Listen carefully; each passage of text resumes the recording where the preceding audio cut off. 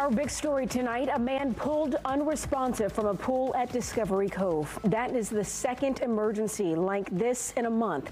Thanks for joining us tonight at 8. I'm Marlisa Goldsmith. Sky Fox flying over the park, which is owned by SeaWorld. Fox 35's Hannah McKenzie has more from Discovery Cove tonight.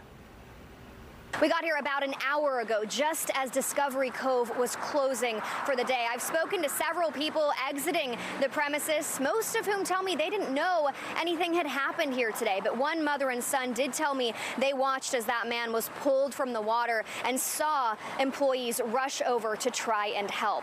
Now, Discovery Cove did close at 5 p.m. as planned, but as we saw via Sky Fox, the area was pretty empty in certain spots after this incident. According to the Orange County Sheriff's Office, deputies responded to the area just after 10 this morning after a man in his 50s was found unresponsive in a pool. He was taken to an area hospital. We're told he is in critical condition.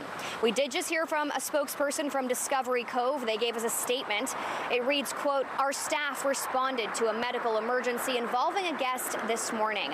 Our team provided care and contacted Orange County Fire and Rescue.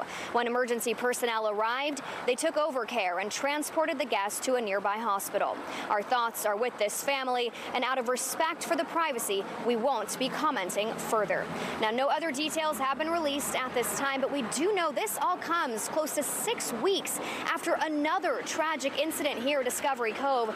On May 28th, a 13-year-old girl visiting from the UK was also found unresponsive in a pool here, and she was pronounced dead just two days later. Of course, this is a developing story, and we will keep you updated here on Fox 35. Reporting in Orange County, I'm Hannah McKenzie.